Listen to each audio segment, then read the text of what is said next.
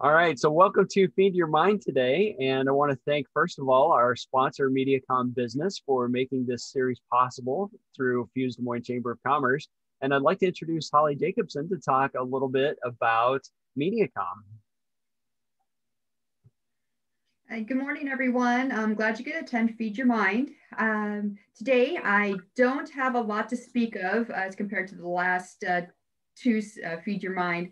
Um, just a brief touch on our small business bundle. Our phone lines still have unlimited long distance, and our data also has unlimited data as well. So, and again, just a brief touch on uh, a few of the features and benefits of our small business program or small business contracts that we have. On top of, of course, I still have that promo that's available through me and not the call center. So uh, if you have any questions, uh, comments, concerns, please feel free to give me a call or send me an email, whichever one. All right, wonderful. Well, thank you, Holly. And everyone who is uh, able to be here today. It's so great to see so many people here. And do make sure that you reach out to Holly if you have some connection needs for your business, of course. Uh, so today I would love to introduce Brian to you from Visionary. Uh, Visionary is a great local success story here in Des Moines area. Uh, Brian and I were chatting a little bit earlier. He's been with the company uh, from the beginning. we're talking what his employee number was.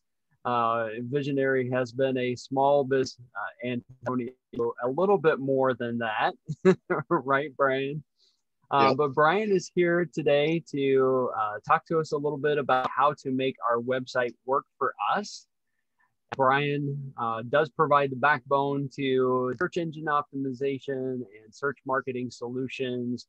He comes from Minnesota and he was telling us, oh, if we think it's here, we don't yeah. want to like further up north. But Brian, I will let you go ahead and uh, share with us your expertise and your wisdom today.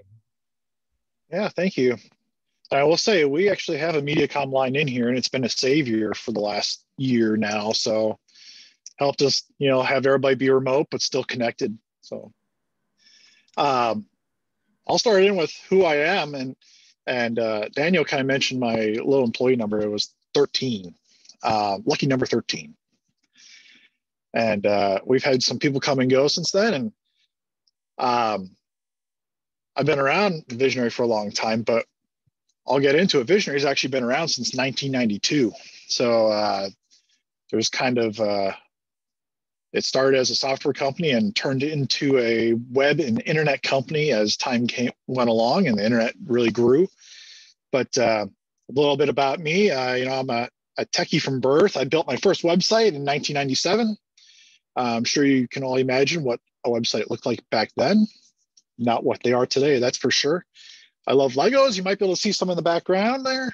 There's always Legos on my desk. And uh, I spend, I've kind of uh, spent a lot of time on both sides of the tech world here at Visionary. I, am both a developer, so I write code, I uh, build websites, I do some design work, but I also help project manage uh, some of our our clients' projects. Um, Trisha's saying that she'd love to see a website from 97. We'll have to pull it up. There's there's a cool tool that you can see some old sites. So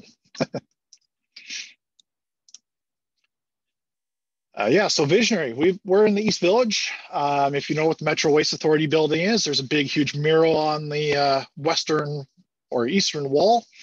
That is the building that we are in. We've been here since 2000 seven ish, 2006, I think, actually.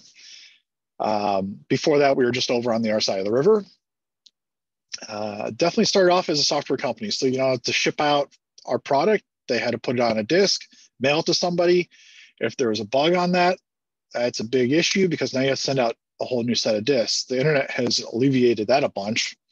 If there's a bug, you can quick fix it and push it out, and everybody gets the update right away. Uh, we have about 30 employees right now. We actually have somebody starting next week.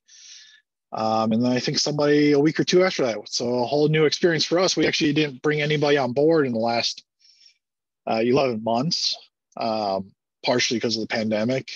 Um, and we just couldn't hold off anymore. So onboarding somebody virtually will be different. Uh, we really focus on building very custom solutions for our customers. So very few things that we make are, you know, template based or something like that. And we have a few, well, we have a whole bunch of local and a few national clients.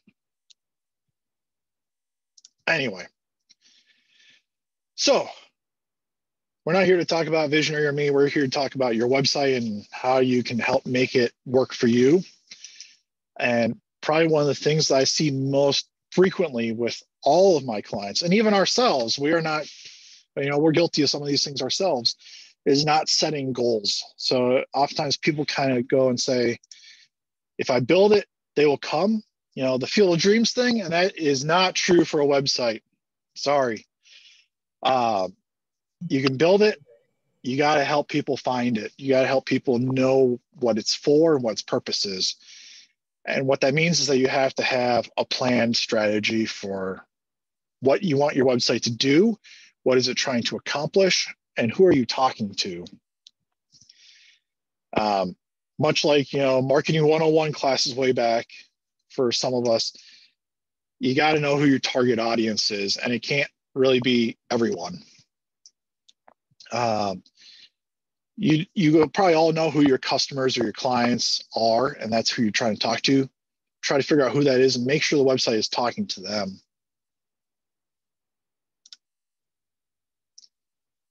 So the first step is what is your site's purpose? What is it trying to do?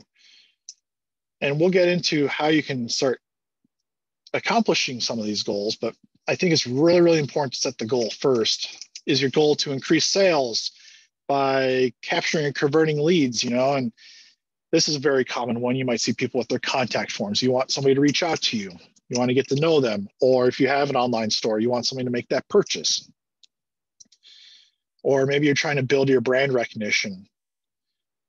Um, you know, it's uh, kind of a, a lot of people, you know, this is where visionary would really be is probably more on the brand recognition. Is we want people to get to know our name, who we are, and what we can do. Um, also, you might want to be improving your communication with your customers. And that's where you're going to explain what you do or why you're so great at it, uh, why they should work with you, in some cases it might be you know if you're a restaurant you might want to be able to let people know what your menu is or hey we're closing early today because it's so super cold outside. Or the finally you might become an authority in your industry. You want people to know that you know what you're talking about and that they should look to you when they have questions about what's going on with what you are doing. None of these are uh, you know exclusive of the others they can all work together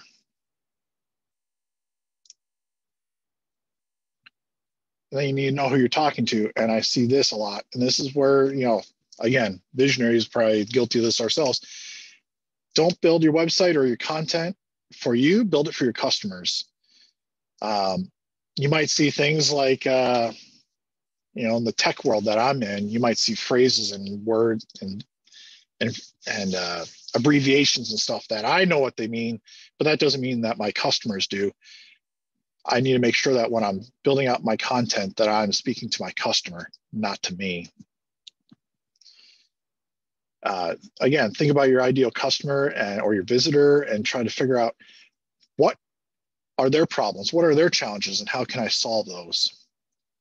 How can my website help solve those, or at least show them that I can be the person that solves them for them? You know, reach out to me type thing. Oh, okay, so this is probably the biggest thing that I think anybody with a website can do is they can help optimize their website for search engines. Now, a lot of times when you're talking search engine optimization, what that means is you're trying to improve your ranking on search results, get more traffic from Google. You'll hear me say Google, but it also means Bing and Yahoo. Google is something like 70% of all searches today. Uh, it's just going to keep going that way as people use more, do more and more searches on their phones. But just because you're optimized for search engine doesn't mean that it's also not helping your, you know, just your normal visitors find what they need on your website. So yeah, SEO is really just helping search engines know more about you. And the goal is to increase traffic to your site, but not just random general traffic, but useful traffic. You want people to visit your site that are actually potential customers or donors or whatever your goal might be. And, you know, you can pay for traffic and get as much traffic as you want, but if it's not useful or valid traffic, it's kind of a waste. Uh, most websites today are built on a content management system. You see some logos over there, you know, WordPress, Shopify, Magento, um, Drupal. Today, you're going to have Squarespace and some GoDaddy type products. But what those content management systems allow you to do is change content, add pages, stuff like that, without needing to call up your web developer, without having to call somebody like me. So if you have a CMS, most of what I'm going to talk about in this section, you likely can do through your CMS. You don't need to call up your developer. But if you're feeling a little iffy or hesitant about, I would say I would definitely recommend reach out to them, tell them what your plan is, and they'll let you know like, hey, here's some other ideas, or even uh, no, you're going to have issues. Uh, but the goal that I'm trying to get you here is that you won't have to call up your developer or need technical knowledge to do any of this. So keywords. This is something that is hard for somebody to do when they aren't in your industry. But in your industry, you likely know what people are searching for or what phrases they might be using to try to find your products, services, uh, learn more about your organization. And these are the words that people are typing into Google to find you, or that you want them to type into Google to find you. So to find and research those relevant keywords, the ones that are useful to you, you can brainstorm, you can come up with a list. I oftentimes would start with just a spreadsheet and start making a list and say, these are the ones I think are more important. I'll put those at the top. Uh, there are some tools that are out there that you can type in a search term, you know, for a company like Visionary, I might type in web design and it would tell me here's some other rel- related keywords and they'll actually tell you these ones are searched a lot. These ones aren't searched much. If there's a whole bunch of search volume so if lots of people are searching for it you might want to use that on your site a lot. And we'll talk about google search console later but that's a tool that can actually show you how people are finding your site right now and how they're using it a little bit and help that can help you learn what you need to work on or what you have going really well and you want to make sure that you keep that safe and secure. Again don't use your terms use your client's terms. Um, i would say yeah we use the lamp stack when we build websites. Most people would look at me with blank glassy eyes if i said lamp stack. What that means is linux apache mysql php what you really want to hear is we're using a, a strong, stable, tested, you know, hosting environment. That we aren't using some weird technology that's going to go away tomorrow. So make sure you're talking to your clients, not using your terms, but in the terms that they would use. So for example, here's uh, on the right-hand side is Moz, uh, kind of on the left and going across screen is the keyword tool. And you can kind of see if you search Des Moines, here's some of the search volume. And a lot of this is grayed out because we just took a sample, but I can actually tell you, here's some terms, here's how much they get searched. You can see the register shows up a lot when you search Des Moines. Um, with Moz, and both these have free versions and then they have paid versions as well. With Moz, you can see that showing you your difficulty score. So the higher the difficulty, it means that there's more competition for you to try to get known for that search term. If I did something very, very generic like web design, that'd be very, very hard. But if I do Des Moines web design, it gets easier. It's a little more specific. And oftentimes when somebody's searching, they're searching geographically or they're searching a little more specifically than something really, really broad in general. But these tools can help you figure out these are the terms that I want to try to work toward and use. And like I said, I'd usually build myself a spreadsheet and kind of keep track of these terms and say, these ones are the ones I think are really important. here's kind of the middle priority ones, and here's maybe ones I want to sprinkle in every once in a while.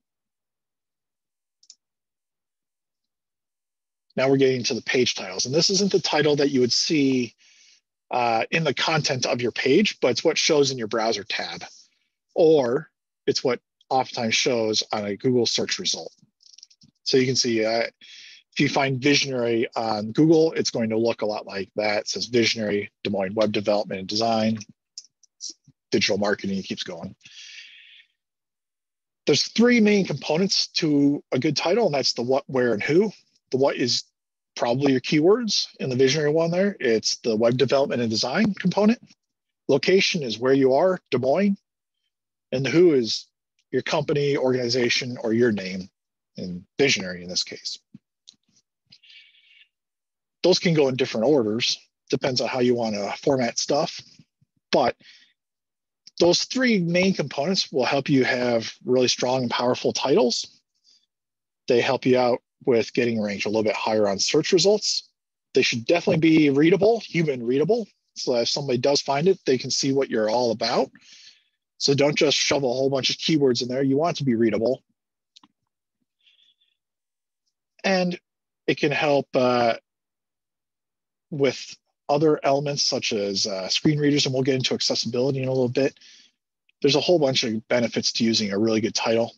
This is something that's definitely can be changed and managed in your CMS on a per page basis.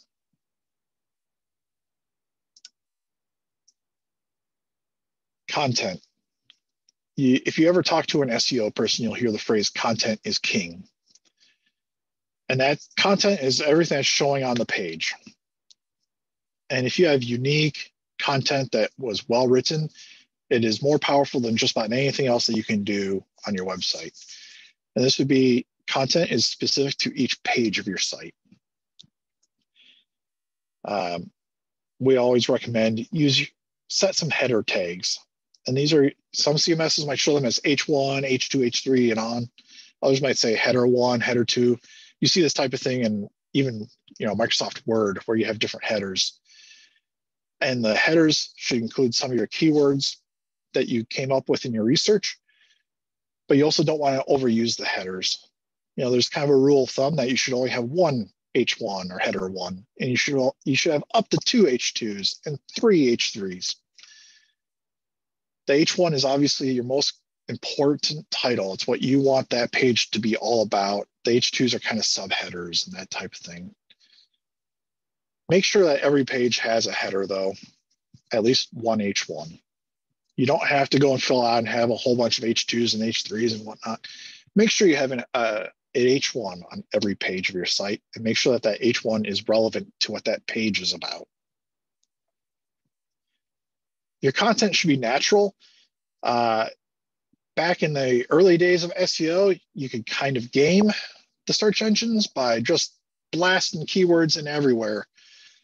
But it made it really hard to read. And you all have probably been on a site where you try to read it and you're like, this doesn't, this is hard to read. It makes sense, but man, I can't, it just doesn't flow.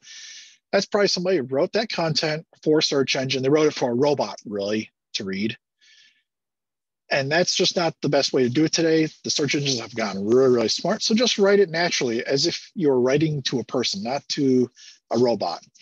Sprinkle in your keywords where it's natural to where they naturally fit in. You know, those keywords that you put at the top of your spreadsheet that are really important, get those in there a few times if you can. Throughout different places, different pages on your site. And then images are also very important um, we'll get to sizing and stuff like that later, but make sure they have alternate text. This helps with people that are using screen readers. It also helps with your search engine ranking a little bit. And it just generally helps people know what the site is about. Um, we've all seen images become more and more important over the last few years. You see those giant header hero graphics all the time now. And those are great but make sure that you have a text component with that that helps people know what that image is about. When we talk about content being king, we often recommend people that they try to get new content on their site as often as they can. That doesn't mean every day, but if you have a blog, write a blog article every once in a while, every week or two, maybe every, maybe even once a month. You know, if you're at the point where you haven't had any new content added to your site in months, just get to, I want one new article a month. And it doesn't have to be a thesis. It can be a paragraph or two about what's going on in your industry or even what's going on in your community. Um, if you hired somebody or somebody has a promotion, in the case of like Visionary with Monica, you know, write a little article about that. The new content helps show search engines and other tools out there that, hey, we have fresh stuff, come back and look at us. Consistency. So there are a whole bunch of platforms out there. We collectively call them business listings, and the the common ones that you see are you know Google searches with Google Maps and stuff like that, or the Google My Business stuff, or Yelp, Apple Maps, Yellow Pages, even Bing. And then the social media networks also have all their different platforms where you can have your business. You want to have things be consistent across that. That doesn't mean that the voice isn't a little bit different. If you're posting to LinkedIn, it's going to be different than if you're posting to Instagram. It's different audiences likely. But you want to make sure that if you have your address or your phone number on these platforms, it's the same everywhere. If you have some pictures of your office building or your team or something like that, use the same picture everywhere. Um, not all the platforms allow you to have images, but if you can, yeah, submit your own, take control a lot of you have probably at some point gotten an email or seen the little links on a search result that's like, is this your business or claim my business or something like that? This is what we're talking about. If you have a store or an office space, make sure that you have claimed ownership over your Google listing, your Yellow Pages listing, if it's out there. Um, there are some very cool automated tools that let you manage all of your listings from one spot if you're interested in those, I won't talk too much about them right here, but you know, reach out to me and I can let you know about them. Um, unfortunately, there's no free ones out there, but there are some that are relatively inexpensive, and they're great even for just getting control that you could use for a short time and make sure that you have everything listed the same everywhere. Make sure that somebody else isn't, you know, adding content or details that you don't want to your listings you can kind of see that stat down there. If the information is wrong, and the issue with a lot of these is they were automatically generated from whatever source they had, and maybe your phone number is wrong, the address is wrong, maybe you moved and the address hasn't changed yet on Google. If that information is wrong, they're going to have customers overall are going to have a hard time one getting in touch with you two it's starting off the relationship with them with kind of a you know some distrust so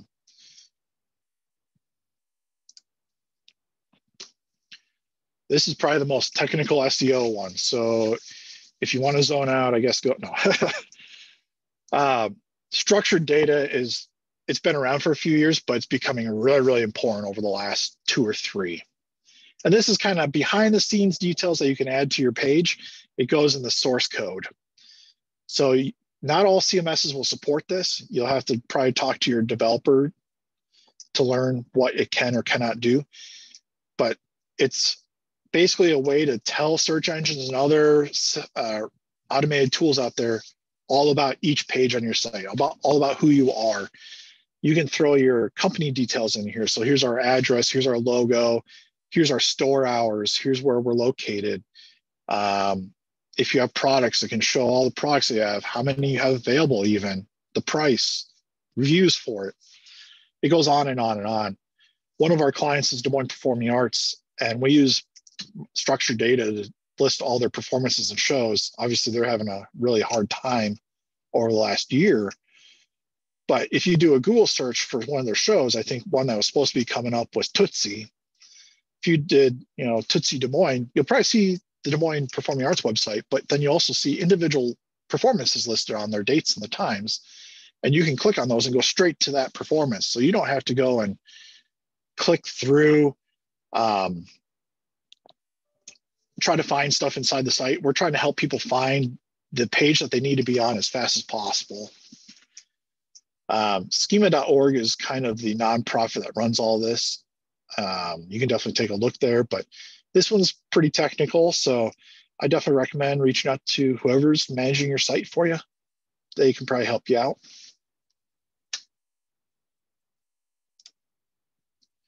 I wanted to make this really very clear. So HTML, that's what you see when you visit your website. That's for people. Structured data, it's for the robots. Um, so structured data does not take the place of all that content. It just helps get you there. All right. Performance. Uh, the easiest way to define website performance is how fast does your website load? There are other aspects to it, but we won't get into those. Um, these tips, and I'm going to go through these ones pretty fast so you guys can actually, we can talk and ask questions and stuff. But uh, your website speed is becoming more and more important. It's actually part of what Google uses to determine what your ranking is going to be on their search results. So if all things, all other things being equal, if one site is a lot faster than the other one, that site is going to be listed first on a Google search result. There's a lot of things that can affect your, your speed. That might be the code that's behind the site. You probably don't have much control over that. But a lot of it is also the content. So if you have huge giant images or big huge videos on your site, that's not necessarily inherently bad, but you need to make sure it's being loaded correctly, trying to give people the best, most optimized version of each image or video that fits their device. So if I'm looking at it on my phone here, that's very different than if I'm looking at it on my high res laptop, right? I don't necessarily need the same image um, on both devices. So you want to load the correct one for them. You also want to make sure that maybe you're only loading things when they actually need it. You'll probably see this a lot, especially on news sites. As you scroll, an image loads as you're scrolling that's called lazy loading. They're only loading that image when you needed it. If you didn't scroll, you never would have seen it anyway, so why load it? Um, those images can have a huge impact, positive or negative, on your site. So positive, you know, obviously it draws attention. It, it tells people what the page is about. It gets them engaged a little bit. The negative might be if you are, if it's too big or loaded incorrectly, it might slow things down. also reducing the number of components or things that get loaded. That's your images, but it's also going to be, you know, extra scripts or hey, we're bringing in some extra fonts or we're bringing in this styling thing or some external whatever is being loaded. That just because it's external or an additional thing doesn't make it bad, but you just want to be very specific that you aren't loading things that you don't need. Um, there's some stuff that you can kind of do with your developer, and this would be making sure that you have caching enabled and you're compressing stuff. There's a great tool that this one's free, Google's PageSpeed, and I have links to all these at the end. Google's PageSpeed Insights, uh, actually you can type in your address and it'll tell you the results in about a minute. And it can tell you, hey, this is how fast stuff loads. Things look pretty good. Here's some things maybe you need to work on. Um, some of these are might be things that you can do through CMS, but a lot of it is probably stuff that you just pass along to your your your technical people. Accessibility. Okay. So if you have a physical store, you need to make sure that your store can be accessed by somebody in a wheelchair or that has visual impairments. The same thing is true for your website. There's a big story from several years back now about Target. Target, the big, you know, box stores, they got sued a few years back because their website wasn't visually accessible to somebody that had um, that, that they were blind. And in the end, Target lost that suit and they had to redevelop their entire website. And for a company that size, that's millions of dollars. Um, this is true for everybody that your website, the ADA does apply to websites as well. You haven't heard too much about small businesses getting hit with this, but it will happen over time. So I would start getting on that now. The great thing is that when something is made to be accessible, it probably helps out a lot of people without disabilities as well. It can help with your search engine optimization. It can help with people that have slow internet connections. Um, even if somebody's, you know, probably sounds crazy, but if they're looking at a website through maybe they have an Xbox, you can load websites on an Xbox, but the interface isn't great. They don't have a keyboard necessarily. But if you made it accessible for people, this helps them out too. There are some cool tools out there that can tell you if you have a bunch of issues or things are looking pretty good. So the Wave tool is a great tool that's out there. You can, again, type in your website and it'll tell you, hey, here's some errors, things to look at, some alerts, some other issues, that type of thing. Um, accessibility is going to become more and more important as time comes on, goes along. You're seeing a lot of the big companies spending a lot of, or we're seeing a lot of the big companies out there spending a lot of time and effort and money making sure that their giant websites are accessible by everybody. Um, one thing I would say is if you want to see how this type of thing works, use a screen reader. There's a few of them out there that are free. Um, Safari actually has one built in if you're using a Mac. And you can see how your site responds if you're using a screen reader as you try to navigate it without being able to see it. There's some great news though. There are some automated tools out there. Unfortunately, my animated GIF isn't working here, it looks like. Ugh, darn. Anyway, um, you can kind of see the little icon down in the corner of the screenshot of our visionary website. Looks like a little person. If you click on that, a little thing opens up, a little window, and it actually gives you a whole bunch of settings where you can enable larger fonts, uh, higher contrast, or even screen reader type stuff or highlight titles and all sorts of stuff like that. So even though you you may not want to go and or have the time or or even the money to go and make sure that every page on your site is accessible right now, there are some cool automated things that we can install and anybody could install really on your site that would help make every page on your site accessible. It just needs to look at your site for a few days. And once it does that, it's good to go. And then as you add pages or change content, it'll update right along with it. So this is something that it doesn't necessarily help you today, but it shows that you care about your customers, you care about everybody that might be a potential or active customer, and it future proofs your site a little bit. This is something that can be installed in just about any CMS. Um, probably needs a little bit of developer help, but it's kind of a copy paste job. So it's it's pretty slick. So we'll get into the tools. Google Analytics, if you don't have something that's tracking people visiting your site, how many people are visiting it, how many people are using it, what pages are they loading, do that now. Google Analytics is free. It's on something like a quarter of all websites already. Um, it's kind of a copy paste little script, drop it on your site and it works. And you can go and see how much traffic you're getting, where are they coming from geographically, even down to the city level sometimes. It is anonymized data. So you aren't going to be able to go up. Oh, Daniel visited visionary.com, and I know that he did that and he went to this page.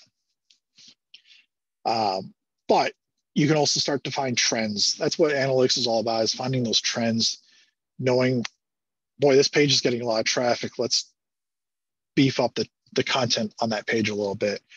Or, man, I had this marketing campaign for product A. Not enough people visited that page. I need to do something about it. Uh, it can also help you track if you're doing email marketing or social media marketing or paying some for ads. You can track how people are visiting, getting to your site, and you can know are those ad campaigns working. There are other analytics tools out there. Google is just the most well known. It's free. So if you don't have something already, I highly recommend getting this. Um, we actually have some stuff on our site about the basics of Google Analytics. So if you're interested in that, hit up our website or shoot me a message. Then I mentioned Search Console earlier. Search Console is kind of a partner of analytics, but it looks at your specific site and it can tell you what search terms people are using to view your site. You can it can tell you how often you show up in search results how often people are clicking on those search results on Google to get to you. Uh, you can kind of see in this little screenshot the average position, so 20th spot for this, for uh, this specific example. Again, it's a free thing. You do have to verify you're the owner of the site. There's a few different ways of doing that. It's pretty easy. You may need, you know, your IT or tech people to help you out getting that verification done. But once you're done with that, it just collects data and it'll help you out. And here's just a list of all the tools that we kind of mentioned. I didn't necessarily bring up in ImageOptim. It is a tool that can help you optimize your images, make sure they're not too big, that they're in the right format, etc. So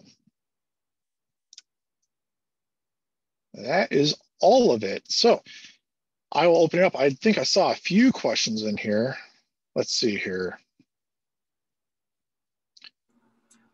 A few questions, Bryan. Uh, one, let me scroll back up here a little bit. Um, Trey, really good question, Bryan. We're going to put you on the spot here a little bit. Why come work on websites more SEO? How are we to pick one that we and I think the that one is it has to have the name in the title, right? That's how you know that it's a trustworthy company to work. well, yeah, no. uh, the best way is if it starts with V and ends with what? No. um, that's actually really, really hard to answer um, because every company kind of has their own specialty, what they are best at. You know, I would say Visionary, we're very, very good at heavy data websites and building custom stuff. You know, if your website is a little two or three page brochure type site, there's nothing wrong with those, but that's not our specialty. Um, I would be hesitant of anybody, especially with SEO, that says we guarantee that you'll be number one on Google. There's no way to make that guarantee um, because everybody's search results are different. You know, Google knows a lot about you and what you're interested in. So uh, if I search something and you search something, our results may look very different. Um, it's kind of one of those, if things sound too good to be true, oftentimes they are. Uh, there's a lot of good companies here in the Des Moines area, though. I, I wouldn't talk bad about any of them. It, it really boils down to the relationship. So before you make that choice, talk to them, get to know them a little bit. If you if it, if it feels like uh, you know you just aren't clicking, there's enough options out there. I'd go talk to somebody and try to find that relationship. You know, I, I can only speak for Visionary, but we very much look to have long-term partnerships with our clients. We don't really look to be the type where we build the website and then never talk to you again. We want to build the website and then work with you as your partner. That doesn't mean that we're always, you know, hitting you up or trying to sell you something, but we want you to go, man, I have an issue. Maybe there's a solution. If you tell that to us, you know, our goal is to be as honest as possible. So yeah, I think we have a solution, or no, we don't. Sorry, but um, yeah, there are a lot of companies out there. They're all going to have specialties. We focus very much on the technical side of things. Marketing companies are going to be obviously more on probably the design and all the other bits of marketing. Um, there aren't as many purely SEO companies out there as there once was. They've kind of been gobbled up or become either the web development company like Visionary or the marketing company. That makes a lot of sense. Trish asked a question too, um, based on some experiences that other chambers of commerce have had. Are there some website building platforms that are better or worse for SEO than others? Uh, the short answer is yes, but most of the big ones out there are pretty good at what they, you know, they're all going to do a decent job. Some of them give you a lot more control than others. So when you're talking a Squarespace or a Wix or something like that, where you're probably paying the $10, $15 a month type thing, those ones give you a fair amount of control, but it might be a little bit harder for you to do, or maybe isn't as obvious. Um, but they're also inexpensive. Uh, the WordPresses of the world that are out there, that's kind of the middle ground these days. Um, they're going to give you a lot of control, but maybe it's a little bit harder for you to use. You have to have some extra knowledge to know where is the title. Uh, WordPress in particular, I don't have issues with. We don't use it ourselves. We actually have our own content management system that we built in house. Um, mostly because our focus is very much on security and stability, and we have some very large enterprise clients. And it, there's nothing inherently risky about using WordPress, but we wanted to know everything that was going on behind the scenes, so we wrote our own. Um, you're going to have some others that are a little bit bigger. The Drupals and Joomlas are still around. Um, there's a whole bunch of them out there, but those ones are going to give you lots of control too. I wouldn't say any of them are necessarily better or worse. Um, it really depends. That's probably more on what is the goal of your site, what is your budget. You know, if your site is four or five pages, the Wix or or Squarespace or even WordPress might be the right way for you to go. If it's uh, very large, very custom with lots of cool tools and stuff, you're probably looking at something else. Okay, excellent. Well, those are the two main questions that were in the. I guess at this time uh, we can open it up. If has any other questions, if you come in, uh, go ahead and unmute yourself and ask any other questions or comments that you have for Bryan. This is Trish, and and you know, I was I, the reason I brought that up is, of course, you know, Chambers of Commerce. We use a member organization database, and and of course, Visionary did the original websites for the Des Moines East South Chamber, I believe, and then they also did Des Moines East South. And of course, when we moved over to Fuse DSM, and and our website is now actually done through the business that we do, or or the corporation that does our our database. I say that because what we're seeing with a lot of chambers is that these website platform or the platform that they're using, their their SEO has dropped as the, as they've moved over to Chamber Master, who is now creating the website or the platform, and they're they have seen their SEO drop. Um, and it's scaring them as it should because you know prior to that they may have been on a WordPress or something, but now they're they're dealing with that, and and so that is scary. I mean the you know we do we're very digitally focused here. Most of you know andy you know we creative dsm does digital marketing for us and so that seo is just really really important. I sleep seo now because i know some I'm, i know more about it than i need to know. It's just it's it's yeah. But yeah so it is scary that that we make the right decisions because a lot of times like you said small businesses they're in a they can't spend a lot of money to get their website done and so they're it's almost like they're jumping at you know that easy simple solution um, and that's just not always the best thing to do. Yeah i'll be as delicate as i can here. So um, things like wordpress are designed to to build a website whereas the system your membership database system it's probably great at managing members and the website was something the website capabilities were probably added on later and that's not what their focus is. That's not what their specialty is. And so it's probably missing some of the components that you would expect out of most cms's out there. Uh, it's it's kind of a trade-off in the end. You know i've seen some people they want to use that tool that does a really great job of managing their members or i'm going to use Des Moines Performing Arts again. They do ticketing right they have a ticketing system. It's great at selling tickets. It's maybe not the best at websites, even though I think it can handle that just you know in an okay way. But yeah, you're right. In the end, it's sometimes you have to make compromises. Your budget is a big factor in that. Um, everything takes time and money in the end. Um, but yeah, that's what you what you're what some of those other chambers are probably seeing is that they're using a tool that wasn't initially designed for a website and they've added that on. And over time it'll probably get better but right now maybe it's not up to par with the other cms's that are available. Right. Trey had another question too. Um, why does a wordpress owns the market on platforms? Uh, in many ways, they were the first big one. Uh, they were the first one that was super easy to install and came with tons and tons of options for plugins and add-ons.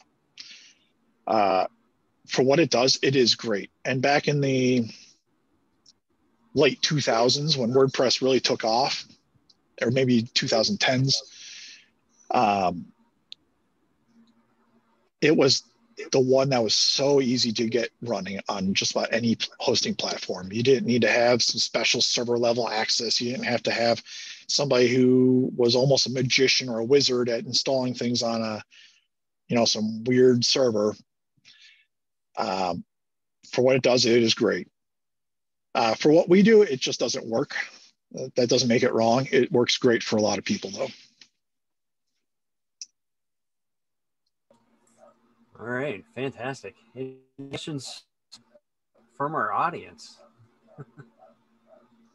I think, can you talk a little bit, and, and, you know, some of us have learned about this a little bit, but the importance of backlinks to your website and what, and, and, you know, again, that, that's something we really focus on here, but I think sometimes people don't understand the value and the importance of those.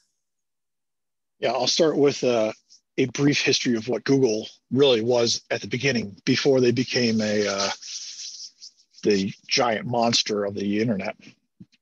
So the idea behind Google search engine was unique when it came out. Used to be Yahoo, Alta Vista, if you guys remember that. Um, they were just going out, they find pages, and it was all about how many text, how many, when you search a term, how many times does that show up on the page? That's what the ranking was. Google's idea came out of academia, where if you look at an academic paper, its real value is how many times does it get cited in somebody else's academic paper? So citations are really, really important. And when Trish was talking about backlinks, what she's another word for that would be citations. And the idea behind Google was if you have a web page and a whole bunch of other web pages linked to it, that means that that web page is the authority it's got something really good going on. And that means it should show up higher on search results. So when you go out to build backlinks, what you're really doing is you're going on, and it's not this, sometimes it's internally within your own site. You might want one page to link to another page. If you look at the visionary site, you'll see us link from, if there's a news article about some web design thing, it probably links to our web design services page. But the real value is when you can get external sites to link to you. Um, and the more of those you get, the better. Uh, there are things out there called link farms. I'm going to say stay away from those. That's scary. That is in the SEO world, we call that black hat. It's uh, it'll get you hurt. Google does not like that stuff. They want the links to be relevant. So you know the page that links to you should be related to what you're talking about. But if you can go out and build those links, whether it's and sometimes it can be social media, you can have social media links that link back to your site. But your site can also link to other people. Sometimes it's mutually beneficial, linking to and from each other.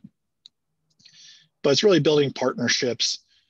Um, for instance, yeah, we have a news article about this event right now on our website, and it links to the Fuse DSM website. There's a little bit of value to that to the Fuse DSM site because Visionary site is linking to them. Now we aren't in the same industry, so that value is diminished a little bit, but it doesn't hurt. Yes, and and you know that's the one thing that um, Andy taught us uh, with Creative DSM is that the the value of a chamber with all the backlinks because of all the websites that are listed. It's just and that that leads to the credibility of what you were talking about. That chambers have a very high Google rating. I literally did this once when Andy showed it to me. We had a new member that was coming on board, and she said, Before you enter that in, um, you know, let's go online and we'll Google where they were at before they became a member of a chamber directory.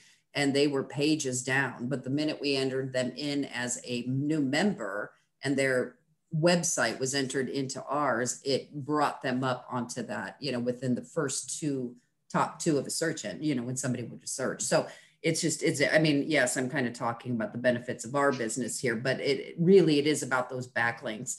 But the danger of that also is we, our old website for the, was it, I don't know, I think it was the Des Moines East Chamber, that was never formally shut down in the, in the, or it was never, it was never tracked, I should say. So of course we owned it at one time and in the transition, way back many years ago, nobody purchased that to keep that safe or to keep that so nobody else ever repurchased that. Well, some business went out, some we don't even know anything about them, but they purchased that website and and they they bought all the backlinks to our old chamber website. Now it doesn't really affect anything for us now, but what it did was it created a whole spamming list for this new business to go out there and contact members and use those backlinks. I mean, so don't ever let your website go away, even if it costs you a few dollars to keep it and you're not using that domain anymore. Don't ever let it go away. so, yep. And the longer your site is around, the more value it has in Google's eyes. So, you know, the visionary.com domain has been around since 94. It has a lot of history, you know, and even if you start one today, yeah, keep it. It's 10, 15 bucks a year to renew. I would just, for the most part, I would keep them forever. So, Bryan, what does visionary um, ideal customer like? Oh, well, it's definitely somebody that wants to work with the partner. They aren't, you know, like I said, they aren't looking for the one and done place. So um, I kind of alluded to it. We don't necessarily do a lot of the small little brochure websites. We're probably looking at people that need a little bit of customization, something unique on their site that you can't get with just a drop-in plugin.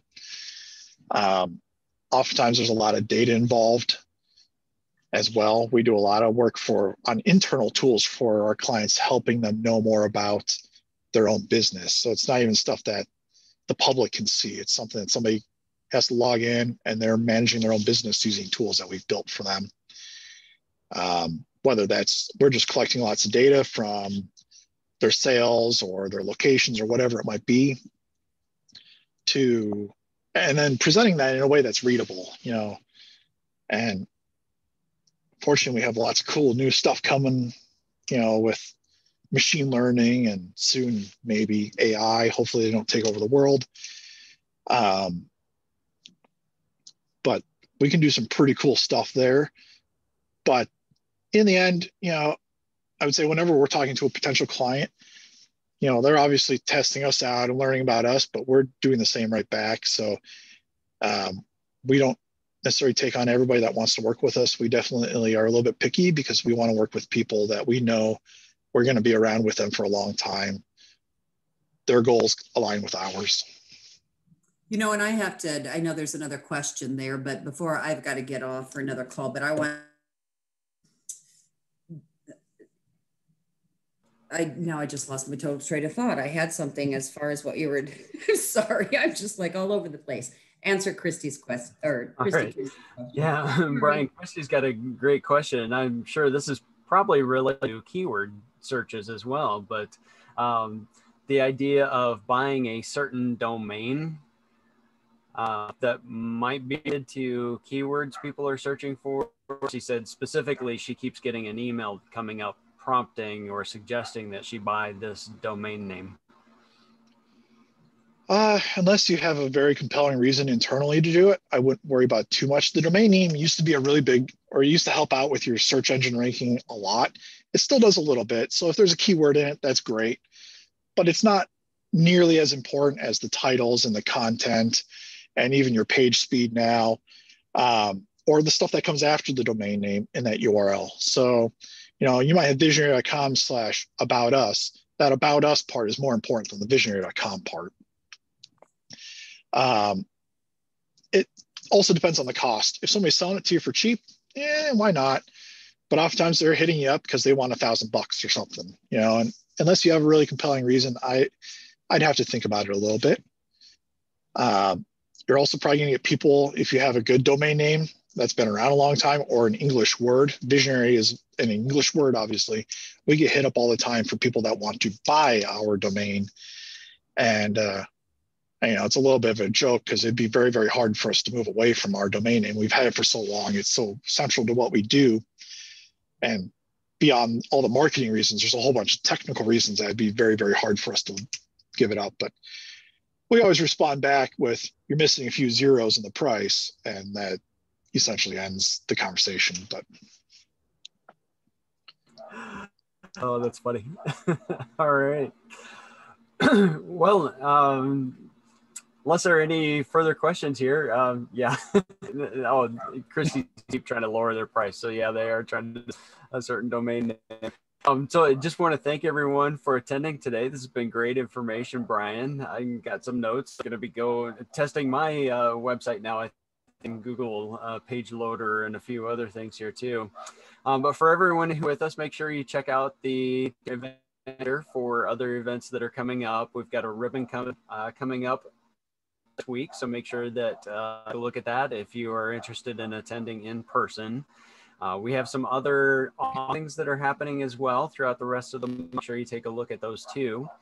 And so just want to end with that. And once again, uh, thank you to Bryan for presenting today and this great information. And once again, thank you to MediaCom Business for being of this series today.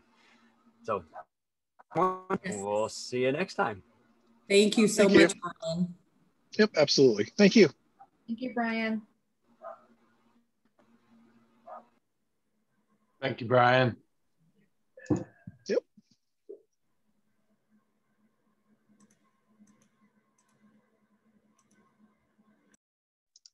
All right. See you later.